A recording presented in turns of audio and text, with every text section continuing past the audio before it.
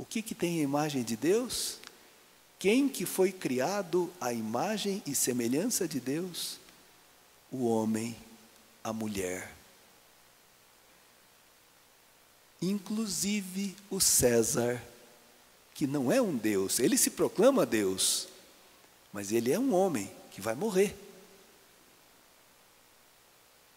Olha só o que, que Jesus fez.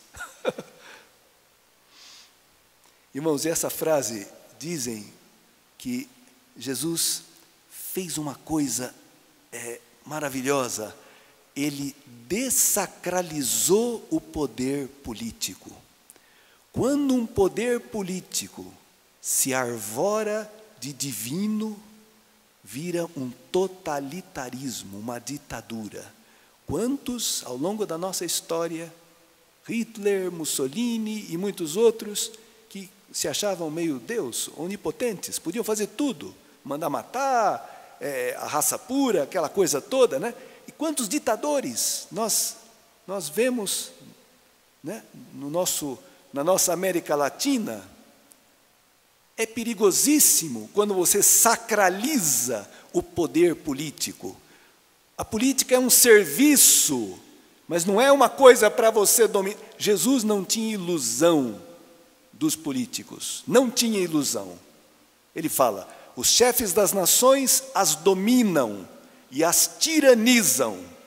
Entre vós não deverá ser assim. Aquele que quiser ser o primeiro, seja o último de todos e o servo de todos. Infelizmente, muita gente se candidata na política, mas pouca gente quer servir para valer. Muitos se servem da política para si e seus amigos e parentes, infelizmente, causando um desastre, né? Porque, irmãos, a política é coisa séria, diz que a, coisa, a política é coisa tão séria, pena que se fique na mão dos políticos, né? Porque deturpam tudo. É um serviço e tem que prestar contas aos homens e a Deus.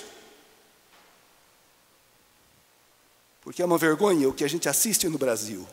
Uma vergonha. Tá bom, essa palavra vem iluminar. Dai a César o que é de César. Os cristãos sempre foram cidadãos exemplares.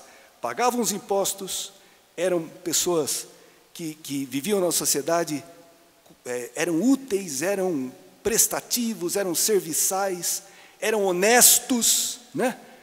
E sempre tiveram uma conduta exemplar. Só não obedeciam às autoridades quando elas queriam ser adoradas como deuses. Quantos mártires na igreja, antigos e recentes, por não jogarem incenso de adoração aos aos imperadores. Quantos mártires! A igreja só não obedecia-os quando eles queriam alguma coisa contrária à vontade de Deus. Fora disso, leia a carta aos Romanos, capítulo 13, o que São Paulo fala das autoridades. Maravilhoso. Que a autoridade é, é, está no lugar de Deus, digamos, para fazer justiça para governar, para o bem da, da, da, comunidade, da polis. Né? Então, é, os, os, padres da igreja têm comentários lindíssimos sobre esse evangelho. Né? E um deles, esse Lorenzo de Brindisi, né? um italiano, que ele fala: é, A César devemos dar a moeda que leva a imagem e a inscrição dele a Deus, ao invés, aquilo sobre o qual é impressa a imagem e semelhança divina, o homem, né, a pessoa humana. Nós fomos criados à imagem e semelhança de Deus. Tu, ó cristão, és homem, és, portanto, moeda do trono divino. És o dinheiro que leva impressa a imagem e a inscrição do Rei Divino. São Paulo, na carta aos Romanos, vai dizer: Os que foram predestinados também os, os fez ser a imagem do seu Filho Jesus Cristo. Quando Deus criou você, quando criou a mim, um artista, quando vai fazer um desenho, ele tem uma imagem, né? um modelo. Ele vai olhando no modelo e fazendo aquele quadro ou aquela escultura. É assim, né? Quando Deus fez você, fez a mim, sabe para quem que ele estava olhando? Sabe em quem que ele estava pensando? No seu filho Jesus. Nesse amor, nessa humildade, nessa sabedoria, nessa bondade. Por isso, irmãos, que Jesus veio recuperar em nós a sua imagem.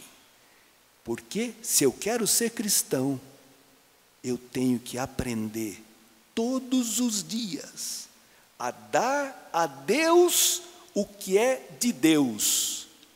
Eu, meu coração, meus pensamentos, meu louvor, tudo.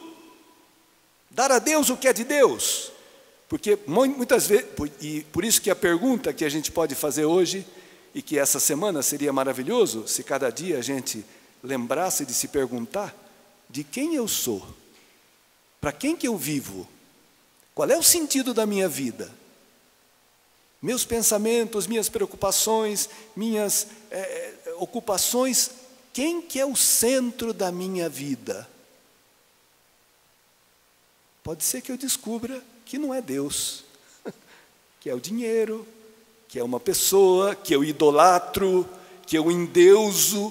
Quantas pessoas? A gente vê todo dia no noticiário, fulano matou a namorada, matou a mulher, matou... No... Essa coisa doida. Isso é fruto do que, irmãos? Da idolatria e da incapacidade que as pessoas têm de sofrer. Não aceitam uma perda, não aceitam o orgulho, faz com que a pessoa não tenha capacidade de sofrer. E idolatra os outros, idolatra, e quando perde, não admite e quer destruir. Uma coisa absurda, uma coisa doentia, mas é fruto da idolatria. Por isso, irmãos, é uma palavra para nos libertar. Dai a Deus o que é de Deus, não aos ídolos.